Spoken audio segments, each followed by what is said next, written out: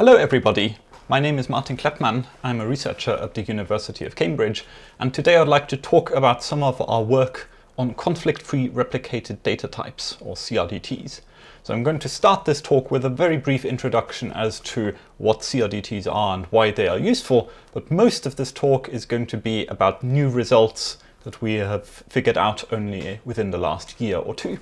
So you might know me from uh, this book here, which I wrote um, a couple of years ago. It's called Designing Data Intensive Applications, and it's a broad overview of the architecture of data systems and how to choose your database for your particular application. But that's not what we're talking about today. So today we're talking about collaboration software. So in collaboration software, I'm taking a fairly broad view of this. This is any kind of software where several users can come in and update a document or a database or some kind of state, shared state, and various examples of uh, software that fits in this category. Google Docs is an obvious example where you can have several people editing a document at the same time, be it a text document or a spreadsheet, similar things you get with Office 365. Figma is an example of graphics software that supports multi-user real-time collaboration. Trello is an example of project management software where several users can update their status of various tasks, uh, assign the tasks, add comments, and so on. So all of these have in common that the users are updating some kind of shared state. Now I'm going to use this example, collaborative text editing. Uh, for now, there will be some examples from other types of applications later as well. So in collaborative text editing, you can end up with a scenario something like this. You have two users who at the beginning of the time that we're looking at, they have the same document, which is hello exclamation mark. And then the red user comes along and changes this document to hello world. So by inserting the word world before the exclamation mark. And concurrently, while the red user is doing this, simultaneously the blue user changes the document to add a smiley face after the exclamation mark. So these two changes happen concurrently without knowledge of each other. And then later on, as the network communicates those changes, uh, so these users communicate over the internet or whatever network they are using, and they should converge to the same state. So we want that at the end, both uh, users have the same document on their screen and that document reflects all of the changes that were made. And in this case, the merged outcome is, is quite reasonable, what we expect. We expect the word world before the exclamation mark and the smiley face after the exclamation mark. Okay, and so there are broadly two families of algorithms for achieving this kind of collaborative text editing. One is operational transformation, or OT, and that's kind of the classic of uh, multi-user collaborative editing that has been around for a long time and that is used, uh, for example, by Google Docs. And then there's a newer family of algorithms called CRDTs, which is what I work on, um, which take a bit of a different approach to solving a similar problem, and we will compare these two in a minute. So I will start with a brief summary of how operational transformation works, because that is then useful as a comparison point for CRDTs. So with operational transformation, we have to, first of all, describe how changes are made to a document. And so when a user changes a document, they insert or they delete a character at some position in the document. And so we can describe the positions at which those insertions and deletions happen by using indexes. So we simply number the first index, uh, the first character in the document to be h, the second character, uh, sorry, the first character to be zero, the second character to be one, and so on. And so now you can have two users updating their document and here on the left hand side uh, the user changes the document HELO by adding a second L uh, at position 3 and on the right hand side we have uh, the user, the purple user, adding an exclamation mark after the letter O. And so now after these two changes have happened, these changes need to be communicated over the network so that one user finds out about the changes made by the other user. And so from the left-hand side here, we have this insertion of the letter L at position 3, or at index 3 in this document. And we have the insertion of the exclamation mark at index 4 on the right-hand side. So let's first of all take the insertion from the left-hand side and move it over to the right-hand side. And so if there's a server, for example, that forwards these messages from one user to the other, the server can just forward this insert L at position 3 uh, operation over to the right-hand side. And on the right-hand side, we insert L at position 3 and we end up with hello with two L's and an exclamation mark, just as we wanted. Now, what happens if we go in the other direction? So taking the exclamation mark insertion from the right-hand side to the left-hand side, note that if we simply forward this operation, insert exclamation mark at position 4, if we simply forward that unchanged, then the user on the left-hand side would end up with a document saying hell exclamation mark O, which is not what we want. We want both users to end up in the same state, and for that state to reflect the intention of what the users were writing. And so instead what has to happen is instead of inserting at position 4, the exclamation mark needs to be inserted at position 5. And the reason for that is that concurrently there has been another insertion at position 3 in before the position 4 insertion. And so the insertion at position 4 needs to be transformed into position 5 due to the concurrent insertion of the L earlier on. So this is why the algorithm is called operational transformation. We have to take these insertion and deletion operations and depending on which other operations happen concurrently, we have to transform the indexes or the positions at which those operations take place. So this algorithm does work, but it requires one very particular assumption. And the fundamental assumption in most operational transformation systems is that all of the communication goes via a single central server. So in Google Docs case, that server is provided by Google. And uh, this server is, you know, it's, it uh, takes a really key role in this algorithm by sequencing all of the operations.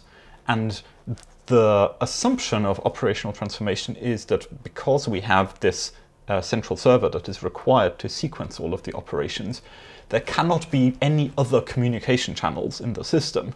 So even if two users who are collaborating are actually sitting in the same room, and they could just be using the local Wi-Fi or even Bluetooth to be communicating the changes between their two devices, using that local communication channel is not allowed because it would undermine the assumptions that are made by the operational transformation algorithm. So OT requires all of the communication to go via the central server even if that server is on a different continent and even if the two users are actually sitting in the same room. So this is the difference of where CRDTs come in. CRDTs allow this kind of multi-user collaboration without making any assumptions about the network topology. So it doesn't assume anything about servers or what kind of network is used. Any type of communication channel can be used to communicate uh, the operations or the updates from one user to another. And the main correctness criterion that we have for both OT and CRDTs is what we call convergence. So what we require is that whenever any two users have seen the same set of operations, then those users must be in the same state. And this happens even if the users actually saw the operations in a different order. So what we, what we do in CRDTs is we make the operations commutative, which means that even if they are swapped around, their order is swapped around, the end result remains the same. And this is how we can achieve convergence. It's just ensuring that after everyone has communicated, everyone has the same document on their screen. And this makes sense. It's, of course, a very useful property. If we did not have this, we would have some kind of permanent inconsistency between the users, and that would be bad. So convergence is clearly a minimum requirement uh, for any of these sort of collaboration software. But as we shall see in this talk, convergence by itself is not really enough because convergence doesn't say anything about what that final state is about after the nodes have communicated. So is that final merged state actually the state that we wanted?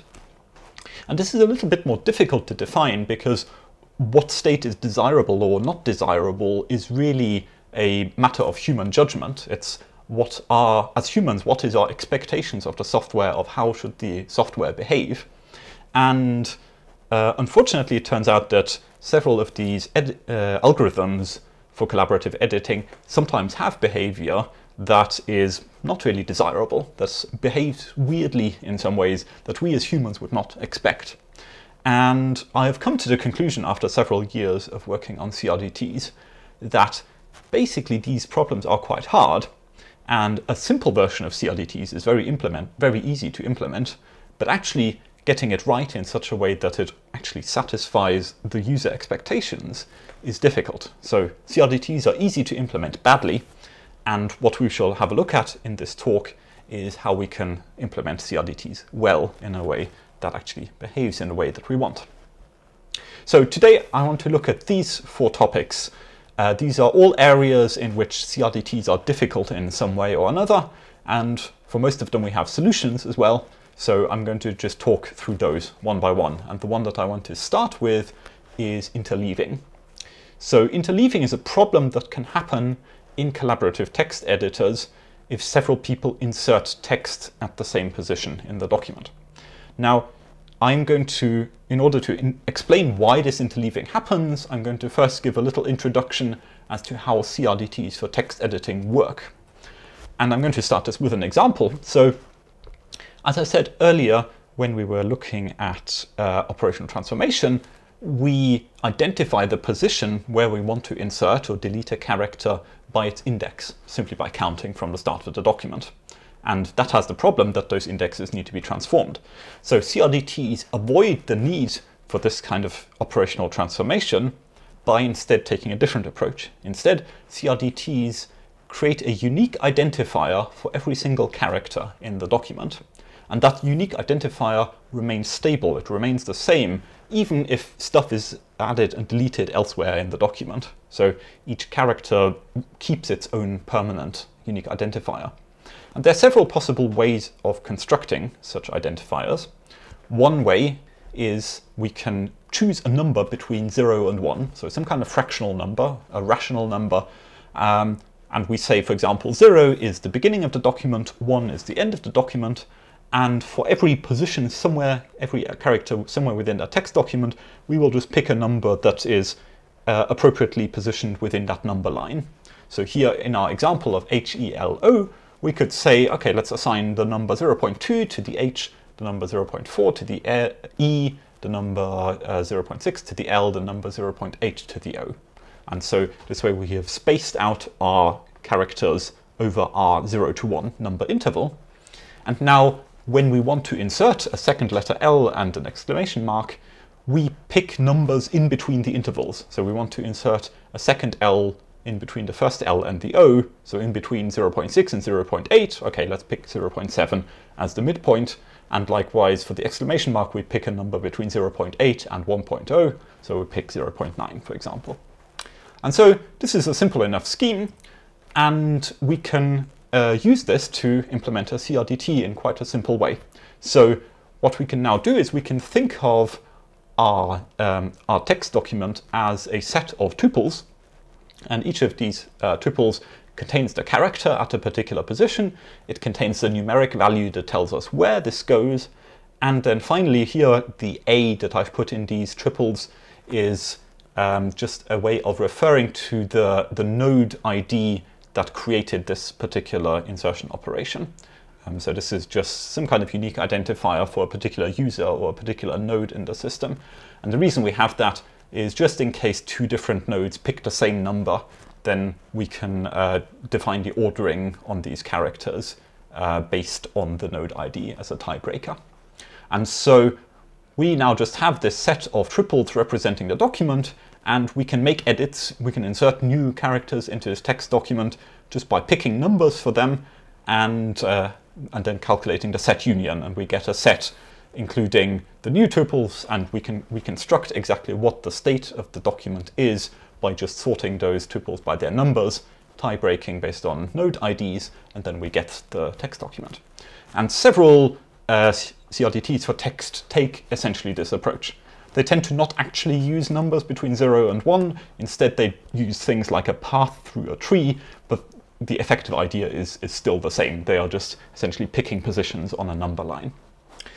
And so when we implement a CRDT in this way, we can have some unfortunate behavior. And this is an example of behavior that can occur in some text editing CRDTs. So here we have two users. On the left-hand side, user one, uh, who starts off with the text document saying hello, exclamation mark. And user one inserts the word Alice between hello and the exclamation mark. And concurrently on the right-hand side, user two inserts the word Charlie in between hello and the exclamation mark. Now the two users communicate, they merge their changes, and we got what we get out at the end is hello and then some kind of weird jumble of letters that we can't read. What, what does this even mean? How did this happen? We started with Alice and Charlie and we ended up with some kind of mess of letters. Well, what happened is this here. So we started off with a text document where each, um, each uh, character has a number on the number line. And uh, hello, the, the O had 0.64 and the exclamation mark had 0.95. And so then the insertion of Alice or space Alice just choose some, chose some numbers in between that interval, 0.64 and 0.95. And likewise, Charlie insertion independently chose some numbers within that interval. And so what a lot of CRDTs do for this kind of thing is they actually randomize the numbers a little bit because that reduces the probability that two different uh, nodes will pick exactly the same uh, position, uh, pick exactly the same number for a particular um, for a particular character, so reduce the risk of collisions. And so what has now happened with this insertion is that well we have taken all of the numbers from Alice on the uh, which are coded in red here, and the insertions of the Charlie letters, which are in blue, and we simply ordered them based on the numbers. And the result, unfortunately, is that we've now interleaved those two character sequences that have come from the two different users. And the result is, unfortunately, a complete unreadable mess. Now, this problem is bad enough if we're just inserting a single word, as we are here. It gets even worse if what the two users have done is concurrently inserted an entire paragraph or maybe an entire section into their text document. If you have a paragraph or a section in which the characters have been interleaved on a basically random basis, you will not be able to use that text anymore. You will just have to delete it and rewrite it again, and the users are not going to be happy about this.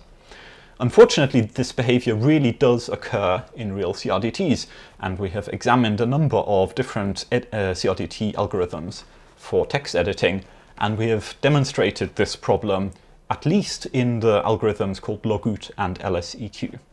And so in these, in these algorithms, um, unfortunately, this interleaving problem is very deeply baked into the fundamental way how the algorithm is constructed. I cannot see any way of fixing this problem, fixing this bug in the algorithms, because the way how these numbers are assigned or the way the paths through the trees are assigned the this um, this interleaving idea is just very inherently baked in to the way these algorithms work. Some other algorithms we have not found this problem. So in TreeDoc and Woot, for example, we did not find this interleaving problem. Uh, this does not entirely guarantee that th that it can never happen, uh, but we think it won't happen. And uh, so in a way, these algorithms are safe. However, unfortunately, these two algorithms are also the ones that are least efficient. The entire reason why the LSEQ algorithm was designed, for example, is because uh, the designers wanted a CRDT that was more efficient than TreeDoc and Woot, because TreeDoc and Woot do unfortunately take a lot of space for their, for their identifiers. And so, unfortunately, this performance optimization has now introduced bad behavior in the algorithm, and in my opinion, that makes the algorithm uh, like LSEQ and Logoot basically unsuitable for use in, in many text editing applications. Moreover, there is um, a specification of collaborative text editing called uh, A-Strong here, which was published by Attiya and others in 2016. And this specification also allows interleaving as a valid behavior, uh, though we have a paper in which we fix this specification uh, to rule out this interleaving behavior. Finally, RGA is an interesting one. So RGA is another text editing CRDT algorithm which does not quite have this same interleaving problem. It has a bit of a less of an interleaving problem, and so I will mention that briefly because it's an interesting case study. So in RGA, the interleaving problem that can happen is like this. So in this example here, on the left-hand side, we've got user one who starts off with the document saying hello, then the user inserts the word reader between hello and the exclamation mark. Then the user moves their cursor back again after the word hello and types the word dear. So what we have here is typing the word reader, moving the cursor back and then typing the word dear. On the right hand side we have user 2 who just types the word Alice between hello and the exclamation mark. And what can now happen in RGA is that the word Alice can get interleaved in between the word dear and the word reader. So even though the text dear reader was typed by the one user and the word Alice was typed by the other user, we can end up with the two mixed up a bit. So we don't get the same character by character interleaving as we get uh, with some of the other CRDTs, but we do still have the ability for text to be inserted into the middle of a different user's insertion. And the reason this happens is the data structure that RGA uses looks a bit like this. So it's a kind of tree data structure with, with very deep uh, subtrees and a small branching factor usually. And what happens here is that each uh, node in this tree is a character that was inserted, and the parent of each node is the character that was the immediate predecessor character at the time of insertion. So we start off with a single special node at the root, which is the beginning of the document. And then when the user types H-E-L-L-O exclamation mark, each of those letters has as its predecessor the character that was just typed. And so you end up with this chain of H-E-L-L-O, like, like a linked list almost, um, where each character's parent is just its immediate predecessor in this tree.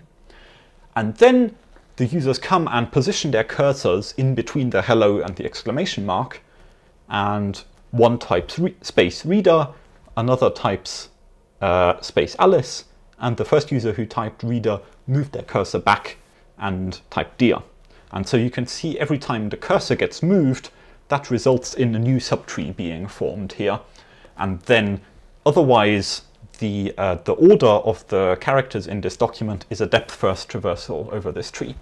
And so we can see that in the uh, interleaving that has happened here, hello dear Alice reader, what has happened is we visit hello, then first the dear subtree, then the Alice subtree, then the reader subtree, and then the exclamation mark. And the, the order in which we visit those subtrees is defined by a timestamp that is attached to every node in this tree. And so if we have, um, in this case here, several siblings, so the O node has several children, then we visit those children in descending order of timestamp. And because the timestamps are unpredictable in concurrent editing cases, you can end up with these three possible outcomes uh, as the merge results. So it's not as bad as the character by character interleaving that you get with the others. I should be precise, it is possible to get character by character interleaving in RGA. The circumstances in which that happens is if the users type their document back to front. So if the users start at the end of the document and first type the last letter, then move their cursor back to the beginning, type the second to last letter, move the cursor, type the third last letter, and so on, and type the entire document from the end to the beginning. If they do that, then they would actually get character by character interleaving in RGA because in that case, in this tree here, all of our characters would be siblings. They would all be children of the root node. And in that case, the ordering is just de defined by timestamps again. Um, but fortunately, in practice, people tend to not actually type documents like that. And people tend to type documents in a reasonably linear fashion from beginning to end. And of course, occasionally people will backtrack a bit, delete a bit, copy and paste some sections, and so on. But as a general rule, typing still happens in a, a, fashion from beginning to end. And so for that reason, the interleaving problem is not actually as bad in RGA as it is in, in the other algorithms. However, we could still say we want to be strict and we want to not allow any interleaving at all. And we did actually devise an algorithm. So for RGA, we were able to find a fix, uh, a modification to the algorithm, which changes it such that this kind of interleaving of concurrent insertion does not happen regardless of how the cursors was moved. I don't have time in this talk to talk about this particular algorithm, but if you're interested, there's a paper that we published uh, in 2019 called Interleaving Anomalies in Collaborative Text Editors, and in this paper the algorithm is described exactly. So let's move on to our next topic. Our next topic today is reordering list items. That is, we have a list of things and we want to move an item from one position in the list to another.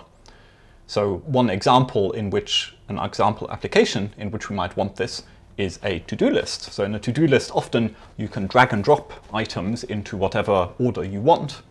And so what happens here, uh, for example, is you have a to-do list consisting of firstly buy milk, secondly water the plants, thirdly phone Joe, and the user is dragging and dropping the phone Joe item and moving it to the top of the list so that this is now at position one. So how do we do this? Well, we can represent the list using any of the CRDTs that we talked about earlier. So all of the CRDTs for text editing are also CRDTs for lists. And so we can use those to represent this ordered list of items. However, all of those CRDTs don't actually support a move operation. All they have is operations for inserting and deleting items, but no operation for moving. Now, you might think, okay, well, that's not too bad because we can always implement moving by just deleting the item from its old location and inserting it at its new location. And this works, except it has a problem if several people concurrently move the same item. So in this example here, uh, replica A and replica B both move phone Joe to the top of the list. And so what happens if we implement this moving by deleting and reinserting? Well, they both delete phone Joe from position 3, so it's definitely gone from position 3, and then they both insert phone Joe at position 1. But the result now is that these two insertions at position 1, they both happen, and so we end up with two copies of phone Joe at position 1 and 2. So this item that we wanted to only move has accidentally got duplicated in the process. And this is really not the kind of behavior that a user would expect, I think, of, of a to-do list application. Just because they reordered some items on their list doesn't mean they suddenly want two copies of, of those items appearing. So, well, what is the behavior actually that we want? What is the desirable behavior? Let's look at a similar example here. In this case, we've also got two replicas moving phone Joe, but we've got them moving that item to different positions. So replica A moves phone Joe to the top of the list, whereas uh, replica B moves phone Joe to be at the second position, so after buying milk. So what is the desirable behavior in this case? Well, we could say that now phone Joe should appear in both positions, before buy milk and after buy milk, but then we've got duplication again, and we did not want duplication. So really what we want is phone Joe to appear in one of the two positions, I guess, and maybe show a warning saying, uh, hey user, there's a warning, we, um, we picked one of the two positions. Or maybe it's just fine to just pick one of the two and uh, forget that there were two different list positions. So I'm just going to say now, let's see, we're going to pick one of the two concurrent positions as arbitrarily but deterministically as the winner. And so in this example here, we've got phone Joe being at the top of the list as the winner. So from the point of view of the first user, nothing changes, but from the point of view of the second user, after they've moved phone Joe to position two, then additionally the, the uh, phone Joe is then uh, subsequently moved to position one. And now let's think about what is happening here. So we've got two concurrently written values for the two different positions, and we want to deterministically, but arbitra arbitrarily, but deterministically pick one of them as the result as the winner, as the outcome. And this may look familiar to you if you have studied existing CRDTs, because it's just what happens in a last writer wins register. In a last writer wins register, we've got a register, which is a variable effectively, which uh, can concurrently have a value assigned to it by different users. And if we have those concurrent assignments, the end result after everybody is merged their state is that we pick one of those values that has been written as the winner and we throw away any other values that have been written concurrently. And so you can think of here as the position of the list item phone Joe as having a last writer wins register semantics to it. That is, first one user assigns the position of phone Joe to be head of the list, the other user assigns the position of phone Joe to be after buy milk, and then as the two users communicate, then the end result is the winner is one of those two values, either head of the list or after buy milk. So let's make this a little bit more formal. Um, what we need is, if we want to implement this here, we need a last writer wins register, okay. Second, we need some kind of unambiguous way of referencing positions in the list. But if you think about what we've just done earlier, when we were talking about unique identifiers for the characters in a text document, what the list CRDTs and these text CRDTs are already doing is providing us with a stable and unique way of referencing particular positions in a list. So we can just use one of these existing algorithms and use its unique identifiers for list elements in order to reference the position of a particular item in the list. Now, different CRDTs have different ways of constructing those identifiers. As we saw, like TreeDoc uses a path through a binary tree, Logoot uses a path through a tree with a higher branching factor, RGA and causal trees use some kind of timestamps, but the basic idea is still the same. We've got unique identifiers for particular positions in the list. And so we can take those identifiers and put them as the value inside our last writer wins register. Secondly, what we need now, if we've got several list items, is we need a separate register for each list item to hold the position for that particular list item. And so, well, we can just construct a set. We can, for example, use a add set, set CRDT, and the contents of that set are going to be all of the items on our list. And so we're going to say that each item on the list is going to be a pair consisting of a value, which is like the text on the to-do list item, for example, and a last writer wins register containing the position of that particular list item. And so now we can add new items to the list by adding them to the add wins set. We can move position, uh, items from one position to another by updating the value of their last writer wins register. In particular, we use a list CRDT to create a position identifier for the location where we want to move a particular item.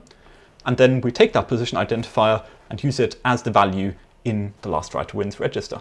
So here we've constructed a new CRDT operation now, a move operation for lists, just by using three existing CRDTs any of this, these range of different list CRDTs, plus an add win set, plus a last writer wins register, and we've constructed a new operation. And because we've just composed these existing CRDTs, we know that the end result is also going to be a CRDT. So this is very nice, and it allows us to do these atomic moves of a single list item at a time. Now things get a little bit more difficult if we want to move more than one item at a time. And so in a to-do list, you really only need to move one item at a time because typically drag and drop just lets you pick up one item at a time in the user interface. So that's not really a problem. But in text editing, you could imagine other uh, circumstances arising. So in this example here, we've got a to-do list this time represented just as plain text, as a list of bullet points, where each bullet point starts with a bullet point character and ends with a new line character. And so here replica B is taking the item milk and wants to move that in front of bacon. And so that means taking all of the characters, taking the character bullet point space M-I-L-K new line, take that whole range of characters and move the whole range to be in front of bacon. Concurrently with that happening, a different user is updating the milk item to say soy milk. And so they do that by deleting the uppercase M and inserting the text soy and a lowercase m. Okay, so what do we expect to have happen here? So firstly, uh, the soy milk, uh, sorry, the change from milk to soy milk takes effect and the move from milk to be in front of bacon takes effect. So we would expect the desired outcome here is that we have soy milk first in the list in front of bacon. So that means the two changes have become merged together cleanly. This is what we want to have happen. Unfortunately, it's not what actually happens. So if we look at the algorithm that we just constructed for moving a single list item, and if we just move each character individually according to this algorithm, the end result that we get is this here. So we end up with milk is correctly moved in front of bacon. That happens exactly as we wanted. But the change from milk to soy milk remains attached to the old position of where milk was previously, not the new position where milk has now been moved to. And so the end result now is that the list reads milk, new line, bacon, new line, soy M. and that soy m is just standing there without any context because its context has been moved away in the meantime. And this is a problem that I do not know how to solve at the time for the time being. I've spent a while thinking about it, come up with a couple of half solutions that don't really work. Um, a couple of other people are thinking about it as well. So if you're interested in this, feel free, think about it and do publish the uh, result if you manage to figure it out. So this is the problem of moving items in lists. So we've figured out how to move a single list item at a time, but these ranges of characters, moving them in a way that behaves nicely is still an open challenge. Let's move on to point three, which is again about moving, but now rather than moving elements in lists, we're going to move subtrees in a tree. So let's again look at an example. Let's say we have a tree structure which might be, say, a file system. And like in the case of moving elements in lists, we can think about what happens if the same node in a tree is concurrently moved by two different users to two different locations. And so you can see here we start off with the tree on both replicas where A, B, and C are children of the root. And on replica A, we're going to take that, uh, that node A and move it to be a child of B.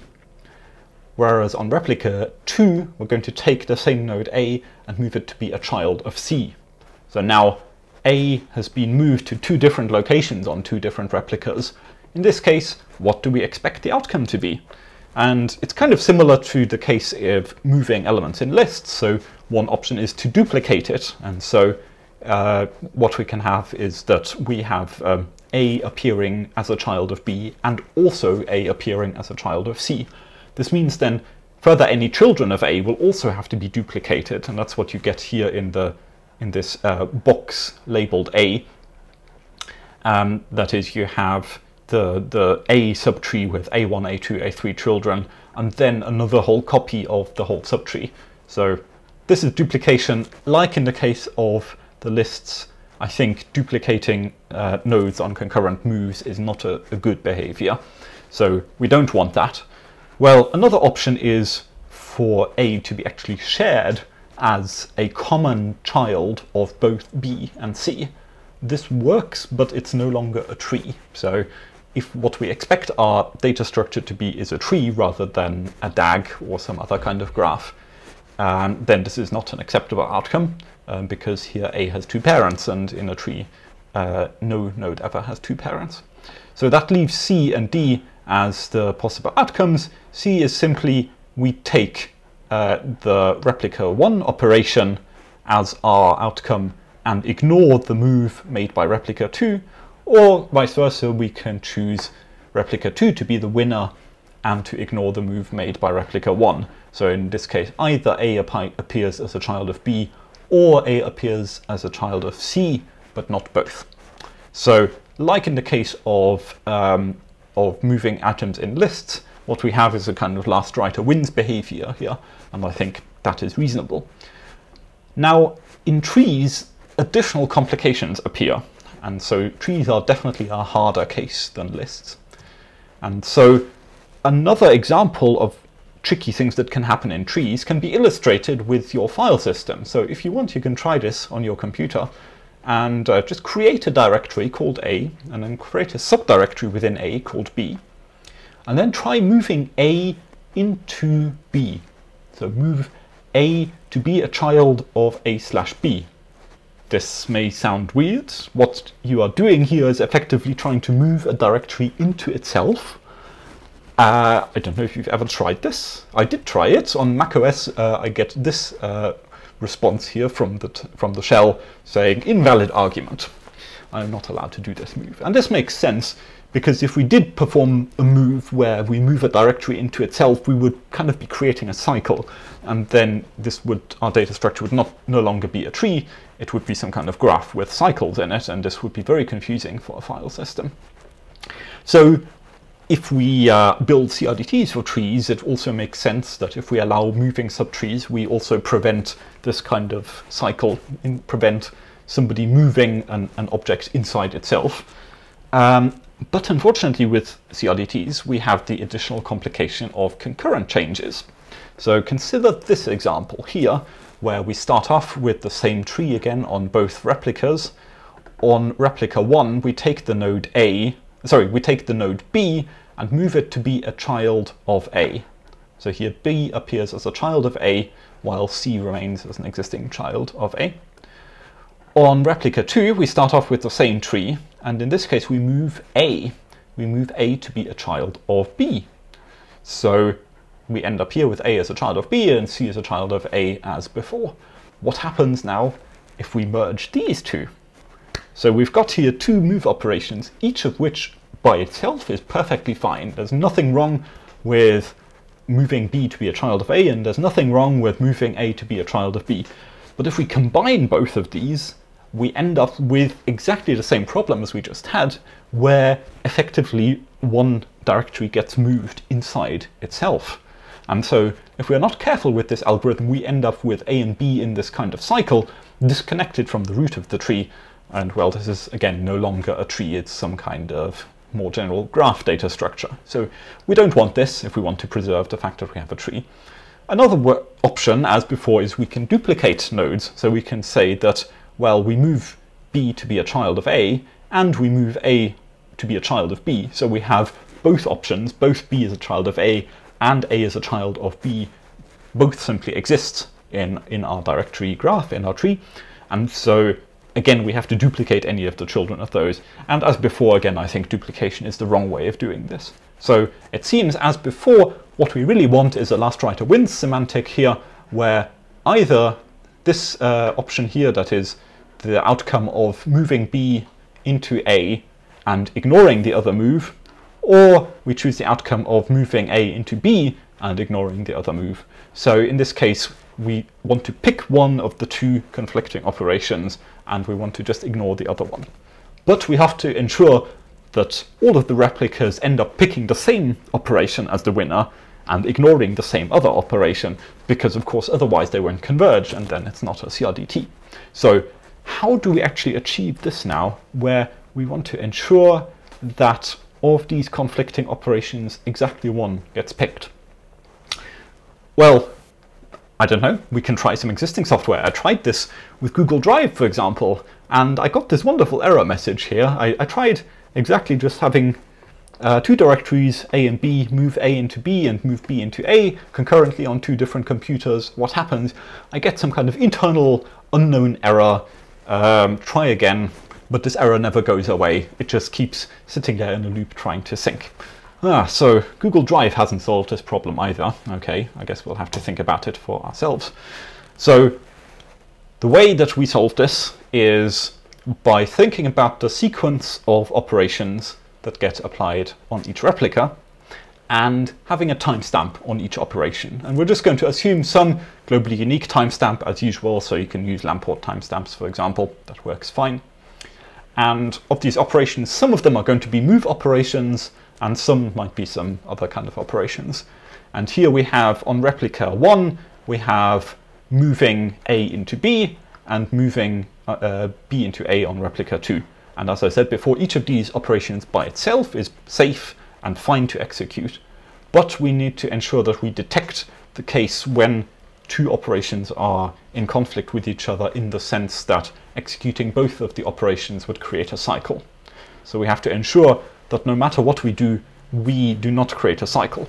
Now, what can happen now if these two replicas merge their sequences of operations is, well, we take the, the, the union of the operations from both of the replicas, we can put them in timestamp order, and now if we say that the operations get executed exactly in increasing timestamp order, then the first move is fine, because by this point nothing bad has happened yet, but then by the time we get to the second move operation, that move is unsafe. And so if we want to ensure that there are no cycles in our tree, then we have to skip that operation and just pretend it didn't happen. But this is now tricky because replica 2 has already executed this operation. So replica 2 will so somehow have to undo this operation that it has already performed in order to ensure that it converges again with replica 1. So the basic principle we're going to use is to take these sequences of operations where we have a timestamp on each operation and we're going to merge them such that we get a single sequence of operations in timestamp order. And so, for example, here on replica 1 we have timestamps 1, 3, 4 and 5. On replica 2 we have timestamps 2, 6, 7 and 8. And so if we imagine your replica 1 and you've executed 1, 3, 4, 5, and now you receive the operation with timestamp 2 from replica 2, well, what you need to do is you need to take this timestamp 2 operation and insert it somewhere earlier into your sequence of operations that you've executed. But, you know, time has already moved on by this point, and we've already executed the operations with timestamps 3, 4, and 5. So how do we handle this? Well, we can just take a fairly simple approach, which is to undo and redo operations. And this is exactly what we do in our algorithm. And so that is if you are replica 1 here that wants to uh, apply operation 2 with timestamp 2, you've got your log of operations that you've performed with timestamps 1, 3, 4, and 5. And we're first going to undo operations until we are back at the point, uh, until we've undone all of the operations with timestamps greater than the new operation. So that is, we're going to undo op5, we're going to undo the move, we're going to undo op3. Now we're only left with op1, so now we can apply op2 on top of that with timestamp 2, and now we redo the three operations that we've undone. And the end result is now that we have this log of operations where op2 has been inserted in the right place. And if we keep performing this kind of logic on each of the replicas, then this will actually ensure that uh, all of the replicas end up with the same operations executed in the same order.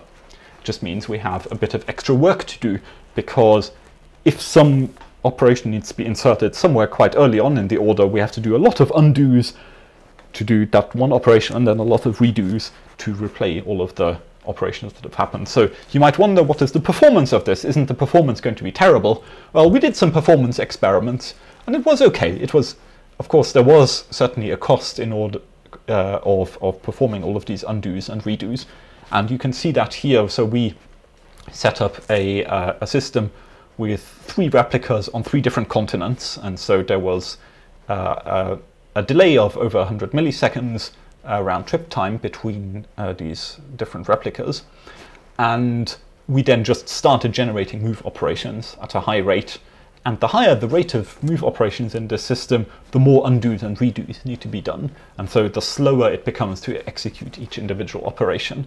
And we were able to get this system to at least 600 operations per second, which, you know, is, is not massive on sort of big data uh, scales, but on the other hand, for like a single user updating their file system, I think, I think a single user is not going to perform more than 600 move operations per second on their own local file systems.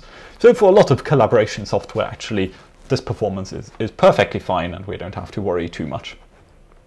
So I will explain a little bit more about how this, how this algorithm works uh, in terms of the data structures that we use. And so we have to first find a way of describing the move operation that we want to perform. And we're going to say move operation is a structure here with the following fields. First of all, like I said earlier, a move operation has a globally unique timestamp, such as a Lamport timestamp. Then a move operation has got to have the, a child, which is the, the node in the tree that we are moving, and the parent, which is the new location, the new parent of that child in the tree. Now, we're not going to note in this operation here what the old parent of this child was. So this is like, we can call this a stealing move. That is, we're simply going to take child from wherever it currently is in the tree and move it to be a parent of this new parent here.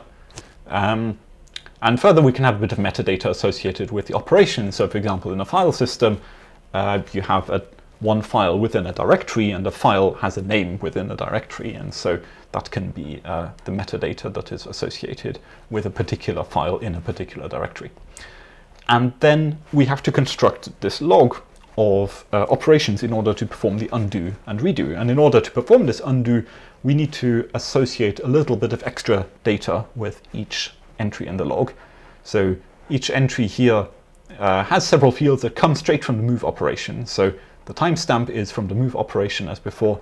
the new parent, the new metadata, and the child, these come directly from the move operations. And so in addition to these, we now also record the old parent and the old metadata. So that is what was the parent of child before we performed this move and was what was its old file name, for example, uh, if we're using the metadata for file names. And so now this allows us to uh, perform the undo because what we do in order to undo this operation is just to set child's parent and metadata back to its old parent and its old metadata. And given this log of uh, log entries of move operations, we can now construct the current state of the tree. The tree is just a set of triples, uh, parent, metadata, and child triples whenever child is a parent or parent in the tree. And so we can now define this ancestor relation here. So we say that A is ancestor of B if either A is a direct parent of tree, as in as A comma M comma B triple exists in the tree, or if there exists some tree node C such that A is a parent of C and C is an ancestor of B. Okay, so this defines uh, just a, a transitive closure over the parent-child relationship.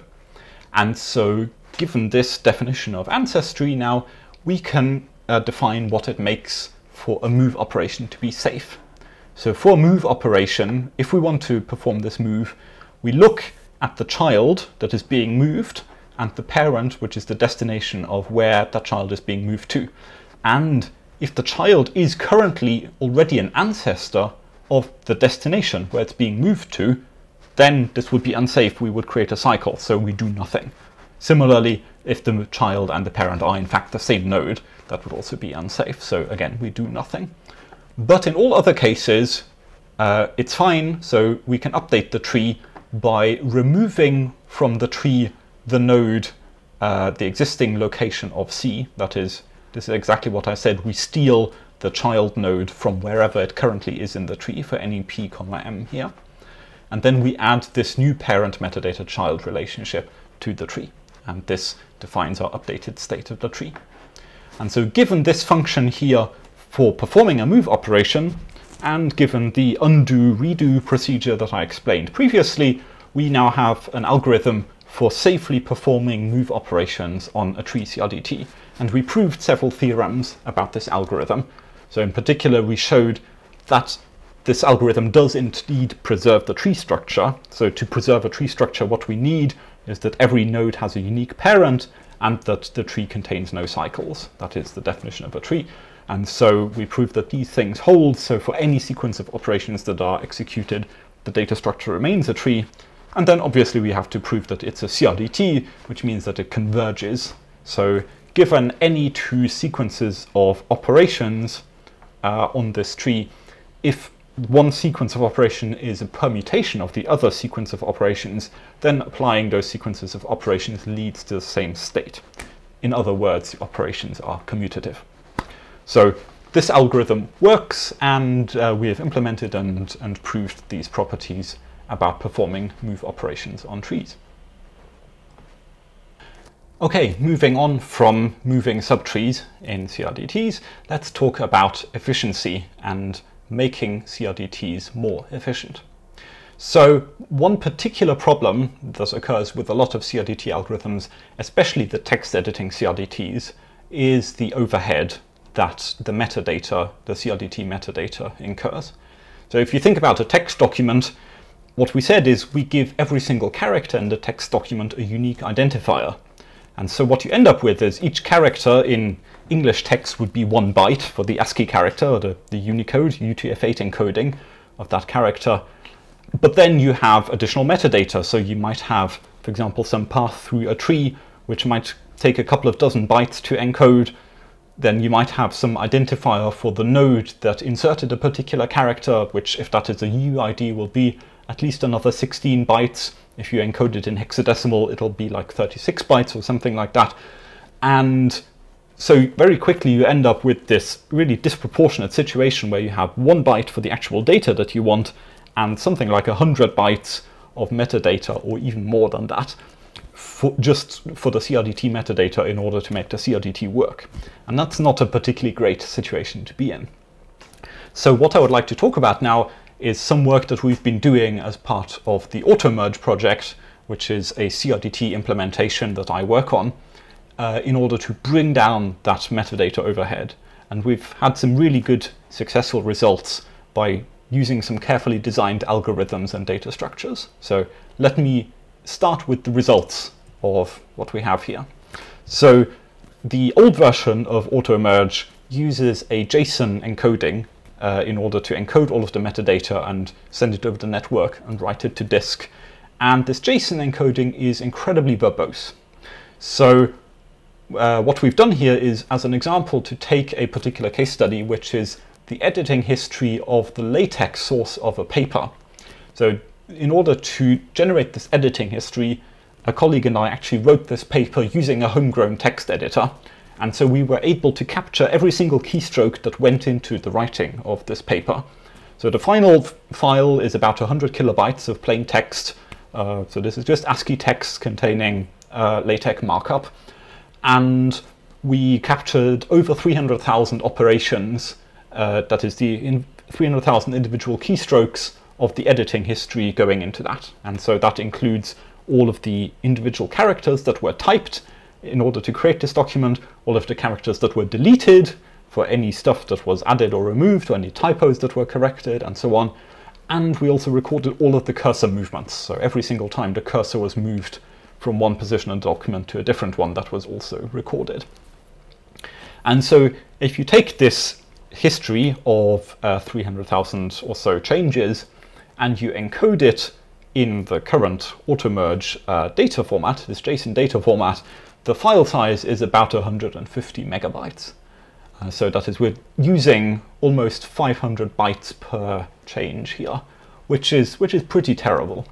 And so you can see now in the, uh, in the new binary data format that we've designed, in order to bring down that over metadata overhead, uh, we've actually made some, some really big improvements on that. And so what we have done is first of all designed a binary format that encodes the full editing history, including every single insertion and deletion, and including when that happened, and encodes that in a compact form. So it doesn't lose any information at all. This is a completely lossless encoding. And what we've managed to do is reduce this uh, file size by over a factor of 200 down to about 700 kilobytes uh, containing exactly the same information just encoded differently. So I should emphasize, if you would just take the JSON history and encode it using one of the binary equivalents for JSON, you would not get anywhere near this. So if you use protocol buffers or message pack or something like that, you know, you, you might reduce it by a factor of two or three at the most. But um, in order to get this factor of 200 improvement, you have to design uh, data format that is specific to CRDTs and specific to the particular uh, editing patterns that tend to occur in these sorts of applications. Um, now you can see that by gzipping these files, you can reduce it. So you can reduce the 150 megabytes down to about 6 megabytes, but the 6 megabytes is still huge compared with the 700 kilobytes that we were achieved uh, uncompressed in our binary format, and that still does gzip down further to about 300 kilobytes um, without losing any information at all. So note that by this point here now, we've been able to enc encode a change history. The change history consists of over 300,000 changes. We've encoded that in 300 kilobytes. So we're now actually using less than one byte per change in order to encode the full change history. So we can look back at any past version of this document. We can diff any two versions at any point in time. And all of that data is, is still there encoded in this very compact form, which I find very exciting. Now, of course, we can still compress it further by throwing away some of the history. So one of the first things we might choose to throw away is the cursor movements, because to be honest, who cares about exactly where the cursor was at which point in the editing history. So we can save about 22% by uh, throwing away the cursor movements, and we can, we can go down to about 230 kilobytes by also throwing away all of the change history for the text. So by this point here, where we're at 230 kilobytes, uh, we still have all of the CRDT metadata, uh, including all of the tombstones. So this means at this point we're still able to perform arbitrary merges between different replicas of this data. Um, and yet we're down to only about twice the raw data set size. So uh, about 100 kilobytes is the raw text document with no CRDT metadata at all. That's just the final state of the text document. And all of the CRDT metadata is um, adding only a bit more than 100% overhead to this without gzip. If we actually apply gzip, then the file sizes are almost the same. So the, the file containing the CRDT metadata gzipped is about the same size as the plain text file non-gzipped. Now, we can get even further down by removing the tombstones. The tombstones are the markers for deleted characters in the document. And uh, if we do so, then we save, um, what is that, another 70 kilobytes or something like that um, for the tombstones. Whether you want to do that or not depends, because if you throw away the tombstones, it means you can no longer merge with edits that happened concurrently. So any edits that happened before that tombstone removal or concurrently with the tombstone removal now can't be merged anymore. Um, but the but if you do remove the tombstones, then just the raw CRDT metadata, just that is just the unique identifiers for the characters uh, at that point, takes only 50 kilobytes. So it's only about 48% overhead on top of the, the raw text document using, using our data format. Very exciting, I find this. So I should tell you a bit about how this actually works and how we were able to achieve such good compression. Um, the basic idea is, as I said, we want to still maintain all of the change history as much as possible. And so we're going to store the full set of all of the insertion operations, all of the deletion operations, and all of the cursor movements if necessary. Each operation is given a unique ID, which is just a Lamport timestamp. Lamport timestamp is just a pair of a counter and the ID of the node that generated it, or we call it actor ID in AutoMerge. And uh, the, the algorithm that we use for text editing is based on CRDT, so it's based on whenever you perform an insertion, you reference the, in, the identifier, that is the Lamport timestamp, of the character that is immediately before the inserted position. And we keep this set of all of the operations and store it in document order. That is, in, in the order in which the characters appear in the document. And what we get is this kind of table here. So you can think of this almost like a table in a relational database, where each row is one operation. And so you can see this is typing H-E-L-L-L-O, so it's hello with three L's, and then somebody came along and deleted one of the three L's so that the final result is just hello. And so the way this is encoded is each row here is a uh, is an insertion operation into this document, and you can see that each row has an operation ID which consists of, which is a Lamport timestamp, so it consists of a counter that just increments and the actor ID I just wrote A here, but in reality our actor IDs are actually UUIDs. So they're actually like 16 bytes or even 32 bytes long. And, um, and so we have this unique identifier for each, for each character that was, insert, that was inserted. Here we have the uh, reference element, that is the predecessor character, the ID of the predecessor character. And so this is just saying here, the E comes after the H. So the H has ID 1A, the E has ID 2A and comes after 1A. And so we can then encode all of the operations this way. Furthermore, if an operation is, is deleted, we do that by having these additional deletion columns that record, sorry, record the operation ID of the operation that deleted this particular character. Uh, in fact, it could happen that there are multiple deletion operations for the same character if multiple users deleted the same character. And now we can take this table and encode it in a very compact form using some fairly simple tricks. So we're going to first of all encode each column of this table individually. And so, for example, we can look at this first column, the counter column, which consists of the numbers 1, 2, 3, 4, 5, 6. How do we encode that efficiently? Well, first of all, we delta encode it, which means for each number we calculate the difference between that number and its predecessor, So 1, 2, 3, 4, 5, 6, the difference between any two subsequent numbers is 1, so this delta encodes to 1, 1, 1, 1, 1, 1, which we can then run length encode to 6 times the number 1, and then we can use a variable length binary encoding uh, for integers to encode 6, 1 in 2 bytes.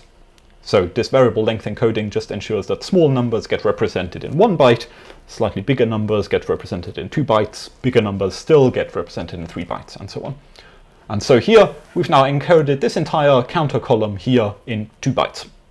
Similarly, we can proceed to the actor ID column. So for this actor column, well, first of all, if we make a lookup table, we don't need to keep repeating the UUIDs. So we just map A to 0, B to 1, for example.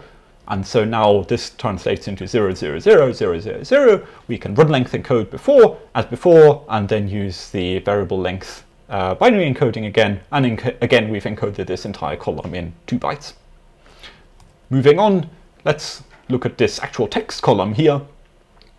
What I've done actually is represented the text in two separate columns. So here, this is the, the UTF-8 byte string for that particular character that is being inserted. And in this length column here, we have the number of bytes uh, for that particular Unicode character. So if what we're doing is just typing English text, then every single character is going to be um, within the one byte uh, encoding of UTF-8. And so this column here is just going to consist of lots of ones. It's just all of the characters have length one. So that encodes, again, super compactly. And now that we've encoded the length columns for the actual characters, we can just concatenate them because we can still then later split out where the boundaries are between the characters by just looking at the length column. And so we're simply going to concatenate all of the bytes in the UTF-8 column, hello with triple L, which is encoded in 6 bytes. So what we've done here, just by encoding each column individually, we can represent each column extremely compactly in just a couple of bytes. And it turns out then that because of the editing patterns that you tend to get with text, um, you tend to get these increasing sequences because people just tend to type letters in sequential order, which means you get these increasing sequences of counters that always increase by one each time. So the whole data has a structure which compresses really nicely, and we can take advantage of our knowledge of this structure to encode it very compactly. So this gives us the set of operations. Now, in order to have the full change history, we need some a little bit of extra metadata that is for each uh, set of changes that were made at some point in time. We need the timestamp of when that was occurred uh, and the range of operation IDs. And with this extra metadata, we can now reconstruct exactly what the document looked like at every past point in time, um, even while using a very small amount of additional storage space. So if people tell you that with CRDTs, you know, you have to put effort into tombstone collection because tombstones waste a lot of space, you know, just think back at this table here. The tombstones actually just cost us 48% of the space. It's a fairly small amount of cost to, to maintain here, whereas choosing the difference between a simple JSON format and an optimized binary format made a factor of 200 difference. So uh, I think this means we have the ability, if we want, to store the full change history and to allow us to do, you know, diffs and interesting visualizations of the change history for our documents with a very low cost, very low cost, and we don't actually have to throw away all of this extra metadata that we have. So this brings me to the end. As I said at the beginning, I think CRDTs are very easy to implement badly. So they're very easy to implement in a way that is inefficient and that has all sorts of weird behaviors like the interleaving anomaly that we saw.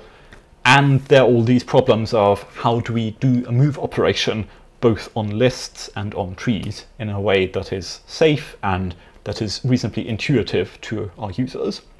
But as you've seen from this talk, we have made a lot of progress in just the last few years on these topics and I think it's going in the direction where really CRDTs are starting to become something that can be really the foundation for a very large set of applications. So we can start to build like actual real practical user software, not just research prototypes on top of these, uh, these basic principles. So I hope you will join me in finding this very interesting and exploring where this ends up going in the future. So I will end with some references. That is here, first of all, the list of the various uh, text editing CRDTs that I talked about in the context of interleaving. And finally, the publications that I've worked on uh, for the various algorithms and anomalies and problems that we talked about in the context of this talk. All of the slides are online, so you can find them there. Thank you very much for listening. I hope you enjoyed this talk, and uh, I'll see you again soon.